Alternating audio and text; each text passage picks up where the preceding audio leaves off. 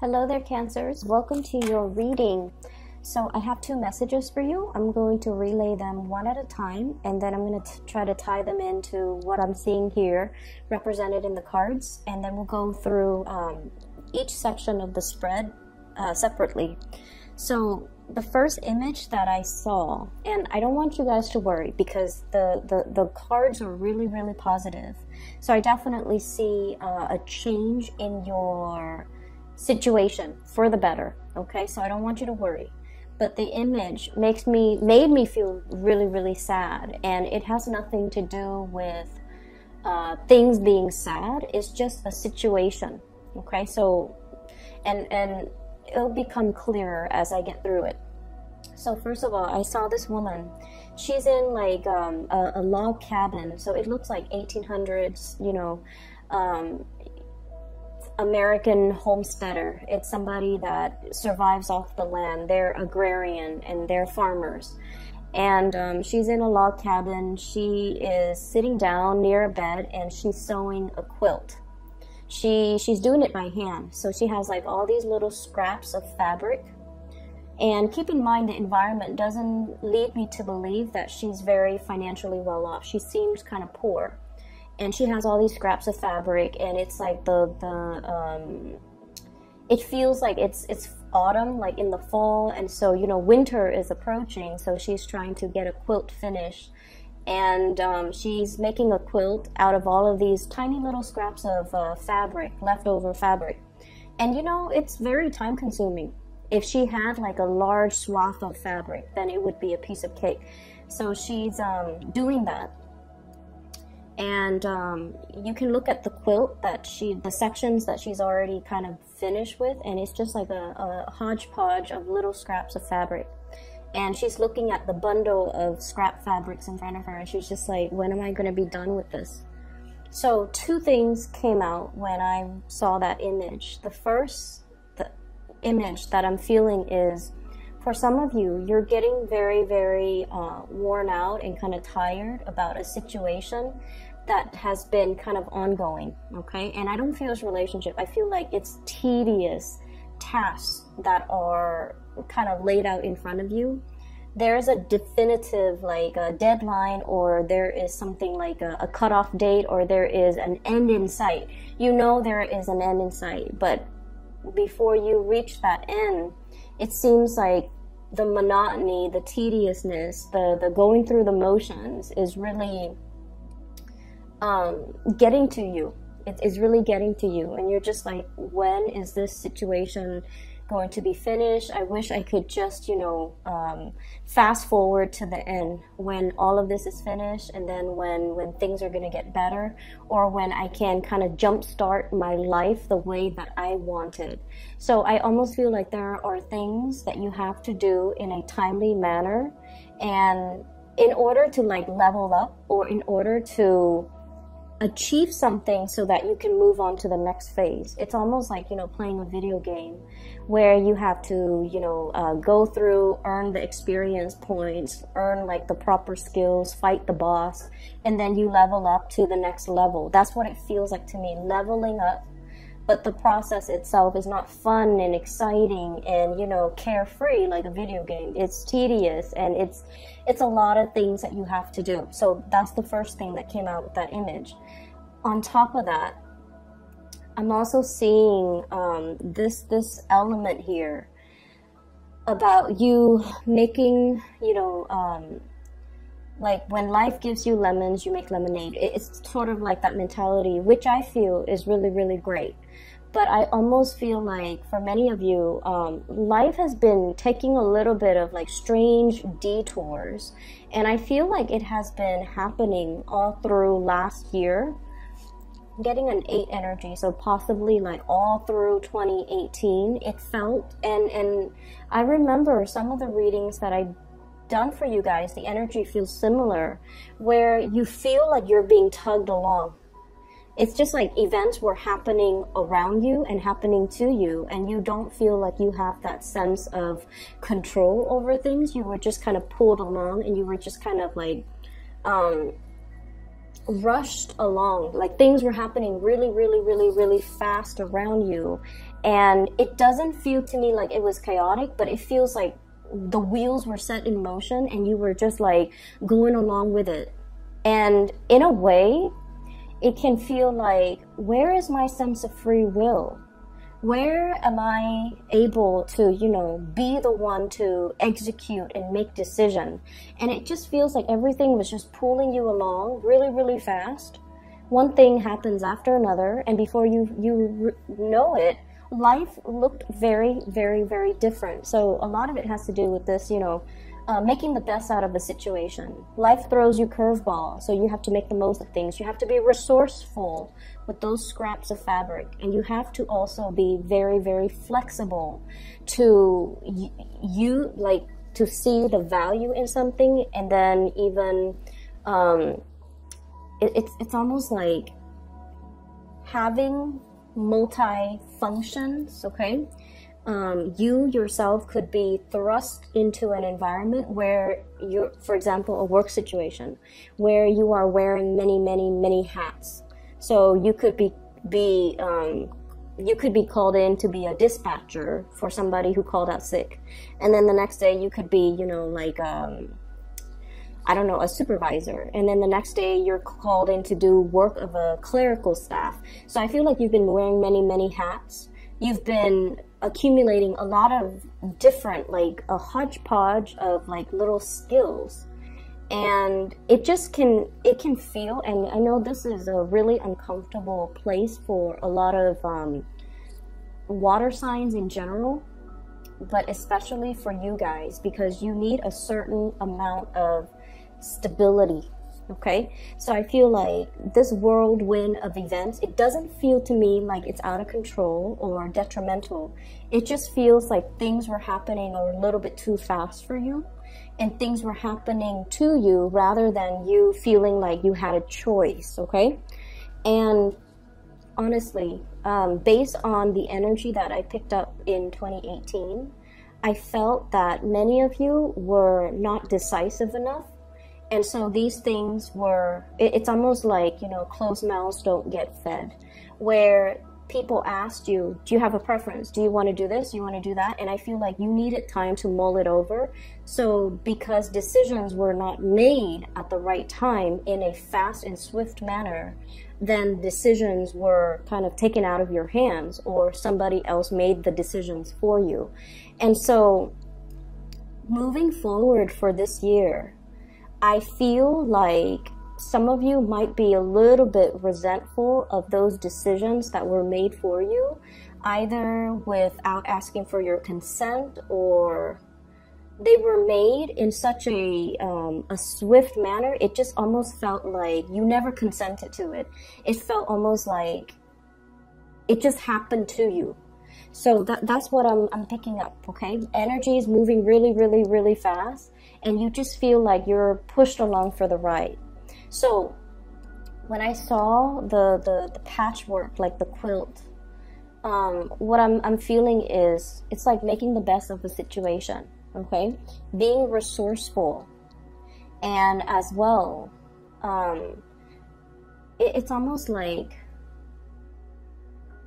I, you know this this this woman this uh, whole quilting sewing it's a very domesticated type of energy it can also relate as well to the home environment where i feel like the demands for many of you in the home environment is what's really it's like one of the things that surprisingly really really helps stabilize your life okay so that's the first thing. And the way that the energies kind of echo across this spread here.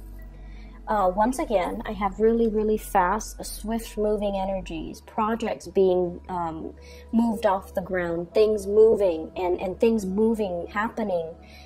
Uh, decisions need to be made. Um, things just like rushing along, like lots of communication, lots of contact, lots of decisions, lots of things that we have to physically take care of and things that we have to respond to. And many of you as well, learning from that 2018 energy, you're no longer sitting there and like, oh, mulling over these decisions, taking your sweet time. You're no longer doing that. I feel like the energy for last year, if anything, it has really taught you about being quick on the uptake, about being decisive, about grabbing opportunities when they come in and not mulling over a situation for too long because opportunities and things like that will slip you by. So you have definitely been learning from the past. What I'm seeing here is there is a new job that's available for you. So for those of you who have been financially struggling, and I did see that coming through with the first image, because like I said, you know, it's a homesteader. It's somebody that is um, living off the land.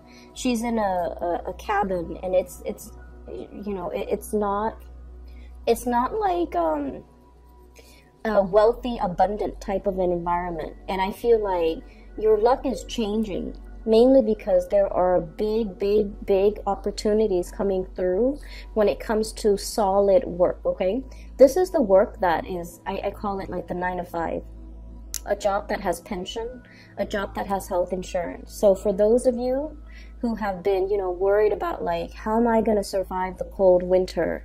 I need to, you know, uh, mend this quilt or I need to build, uh, make a quilt. I need to prepare myself. I need to stave off the cold. I need to be able to prepare myself for this really, really big season that is um, harsh, like a very harsh winter. So I feel like you know you you've got an opportunity here to build, to save up, to to to build up your nest egg. Okay, and it's coming through. This is usually a new job that's available in the picture, and the reason why it screams out to me so much about new work and new jobs is because I have here the three of cups in the reverse. Usually denotes some type of a situation like a job interview or some type of a panel interview where people are talking about you, not in a bad way, but this is sort of like, which candidate do we want to go with? And then they're going to look at your resume, they're going to look at your CV, they're going to look at how did, you know, the cancer person answer these questions in that panel interview? Or which candidate do we want to go for? Which candidate do we want to uh, call back? So I feel like you have a lot of energies of other people talking about you around you. It is not in a bad way, so don't worry, but I feel like it's almost like they're they're allocating uh, resources either to hire you or there's new work and new jobs that are going to be in the picture and um, it's got your name kind of stamped on it okay? The problem is do you want to take it? So this is kind of like on the offing and then she's looking at it well, she's not really looking at it. She's blindfolded and she's stuck in her little prison. She's afraid of change, okay? So that's really, really big with Cancerian people. Afraid of change, afraid of newness. It's too good to be true. And you have a habit of kind of like circling around the things that you want rather than going directly for the things that you want. And so when this opportunity is presenting itself, you're just like, I'm not sure. This is way too good to be true. I'm not sure if I'm capable. It's such a big pentacles. It requires a lot of skills and a lot of effort and a lot of, um, possibly expertise that I'm not really sure that I have. So I feel like you're dealing with a lot of fear and a lot of trepidation and a lot of self doubt. And that might be the main reason why you are kind of um, not embracing what's available to you and what's coming through. Okay, so that's what I'm feeling here. So I want you to really think about, you know, 2018 was everything um, a whirlwind of activity. Okay, so think back the beginning of 2018, and now we have passed 2018, the end of 2018. It was like night and day, right? Starting out January 2018, and I mean 2018, I don't mean 2019. So starting out January 2018, you thought life was going to be one way, and then things took a things the the the path meandered and it was it, it, feels to me and this is where the second message comes through i see this um, container of water is like a pitcher of water it pours down and rather than just falling flat to the ground, the water kind of trickles out and it creates like these streams and estuaries and it just like started branching off in different direction. That's how I felt like life was for you. In January 2018, you thought things were going to be one way. I'm going to do this. I'm going to do something very stable, very predictable, and you know, very status quo oriented. And then by December of 2018, life has taken you so far from, I guess, the realm of possibilities. Life has taken you so far from what you thought your life was going to be like coming into to 2019. So it's like you took a major, massive detour, and I feel like it was for the better.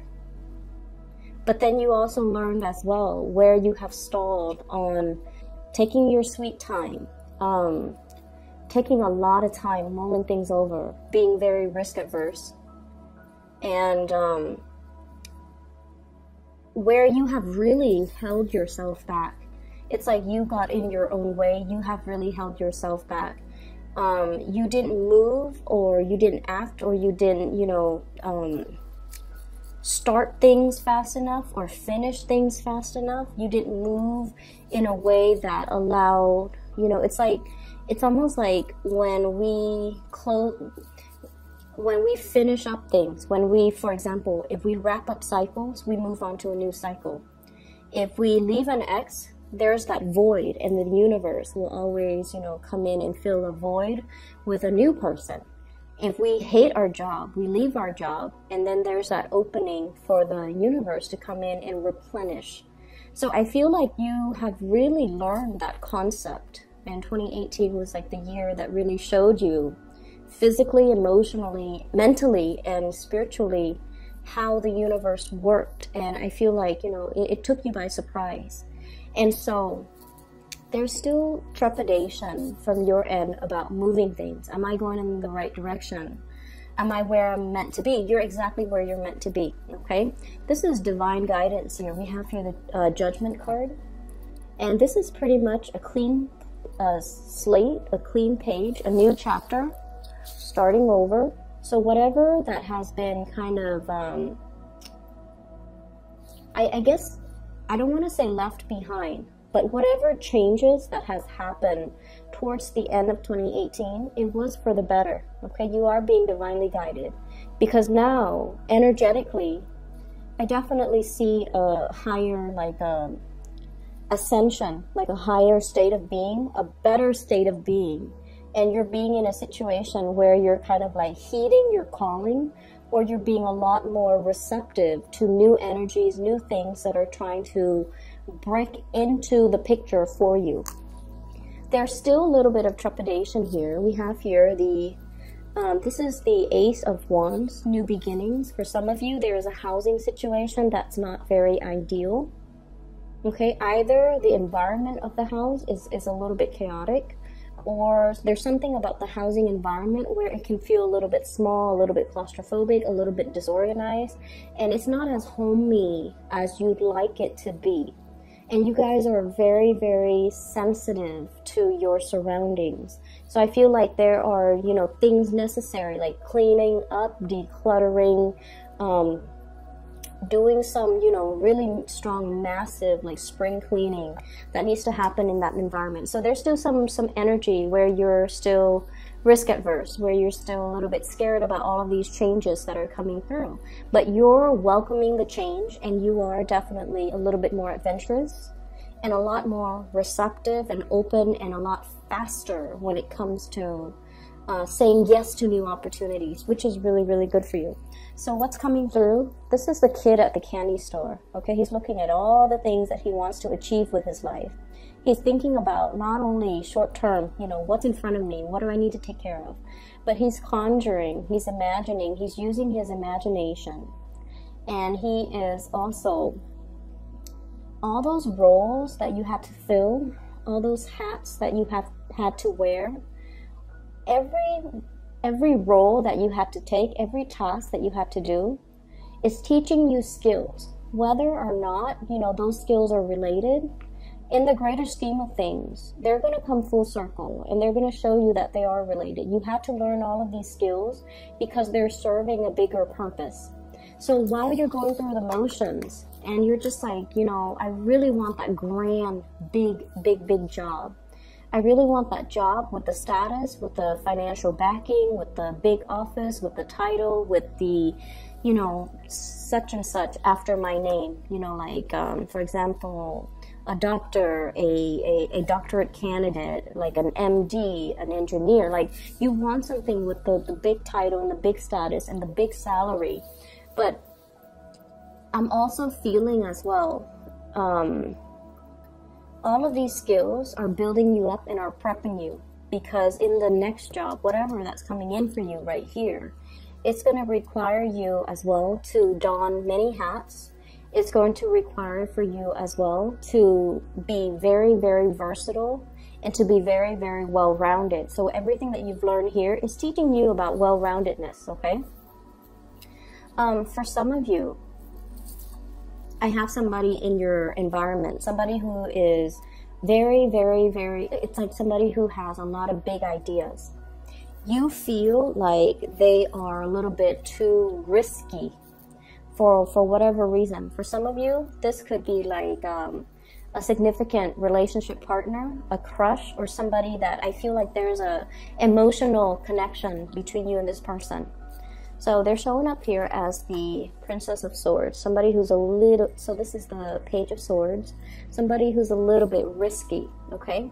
They grab opportunities, they, uh, they think very fast on their feet, they, um, they do things really, really swiftly that they come across as careless, but they always land on their feet.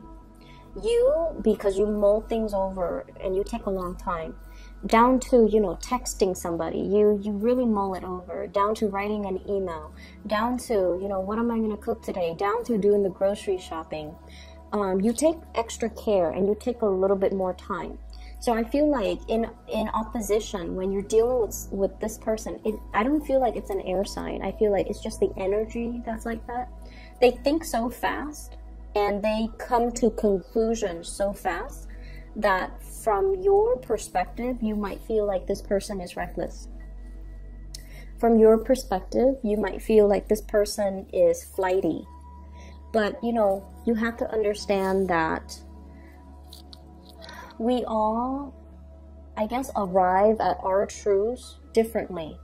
For a water sign such as yourself, things not only have to logically make sense, but they also have to emotionally make sense to you. So, for example, what I mean by that is, you know, if you're dealing with this person, as long as something logically makes sense to them, and I feel like you're dealing with someone who's borderline genius, they're very, very smart. They might not be traditionally, you know, like a, a, a good student or somebody that is gifted, or but I feel like they they they arrive at solutions very, very quickly their mind knows how to problem solve and fit things together. And I feel like for you guys, the way that you work is it has to pass that common sense test and then it has to pass that emotional sense test. So you're you have like two extra criteria that things have to pass through whereas this person they go off on instincts and I feel like because of that uh, what they're doing might seem very, very reckless or seem really impulsive, but in the greater scheme of things, they're able to achieve more. Okay, and so I feel almost like you you might be coming into the embodiment of this energy, where you know, like the the water being poured down to the ground, and then it just kind of um, trickles out into like streams and rivers. Those are like neurons and i feel like they make connections a lot faster. So this is the the next two weeks i feel like it's that light bulb moment where things kind of flash and things start to make sense for you the big picture starts to uh, show itself all the pieces start to fit together and you know all of those neurons are firing and you're able to see that everything that has happened has led me here. And where I am right now, I'm in a position where I get to make these choices again. I'm not just, you know, pulled along or rushed along, um, or even, you know, like dealt with, like situations don't just happen to me. Now I'm in a position where I get to choose again. So life is going to be a lot calmer, I feel, because and i feel like it's because you guys are taking more initiative to make choices faster to grab new opportunities to be less complacent and i almost feel like to be a little bit more adventurous okay? And then we have the best card in the deck. You have the star. Wishes dreams aspirations something that you've been waiting for for such a long time. I feel for many of you if you have been dealing with financial issues there might be new work, new jobs, pay increases, or something that is, you know, significantly more in alignment with your skills, where you want to go, what career track you want to pursue. So this is coming into the picture. And then we have as well the Six of Cups, um, I feel like for many of you, you might be introduced or somebody from, you know, like a friend, a, a former coworker, a former boss, a supervisor, or somebody has you in mind for a job and they're, they're asking you if you're interested. And then I also feel with the Six of Cups energy with the Star card, this is reconnecting with somebody that we have really long cherished. Okay, reconnecting with somebody potentially meeting somebody new that will really want to it's like having um, meeting somebody for the first time but then feeling such a strong connection to them that you might even feel like you've you know known each other before shared a past life together. And then i also feel like meeting somebody that really really really wants to um, that you for once feel like wow, this could be the one, or the other person is all like, this could be, you know, this could go the distance. That could, this could be somebody that I really want to, you know, have children with, share my life together with, build with, build a home with, or really see myself into my old age and, and still have this person by myself, my side. So, Cancer, you have some really, really beautiful things that are coming into the picture. And so, what I feel is, you know, that period about um, that, that whatever that has happened in 2018, um, where you had to kind of hold yourself back, where I feel like you had to make the best of the situation, where, you know, life dealt you lemons, so you make lemonades or even a situation where you kind of have to uh, skimp and nickel and dime yourself or shortchange yourself or be very thrifty or you know really look after your finances or whatever that situation is where you felt like you had to make the best of a situation. Those days i feel are coming to an end. And coming out of february you're going to start to feel this rush of energy and it's going to feel like wow i can breathe again the the choices are in the palms of my hands again, and that's really important, right? No one likes to be. Um, no one likes the, the to, be the ones where things happen to them rather than them being able to control situation so you're once again in the driver's seat you get to make your decisions and you have learned to make decisions quickly and you have learned to really really speak up for the things that you want because you realize that you deserve to be able to speak up, and whoever cares about you, they deserve to give you what you want. Okay? So I'm going to leave it at that, Cancer. I do wish you all the best. This looks really beautiful, and um, take care of yourself. And once again, I have to make these announcements. For those who are still emailing me um, about private readings, I'm no longer doing readings. I do have a person that I can um, that I highly recommend. Her name is Bridget. She is a phenomenal psychic. I have recommended her to all my friends and family, and she I've used her services for the past two years whenever I need spiritual advice and guidance. If you'd like to book a reading, I highly recommend her. I have included her scheduling webpage in the description box uh, down below. So if you'd like, click on that, and then you it will take her you to her scheduling webpage where you can book a reading for yourself or for someone you know. I highly recommend her. I wish you the very, very best, um, Cancer, and I'll be back next uh, next month. For those who are celebrating, happy, happy Valentine's Day. Take care.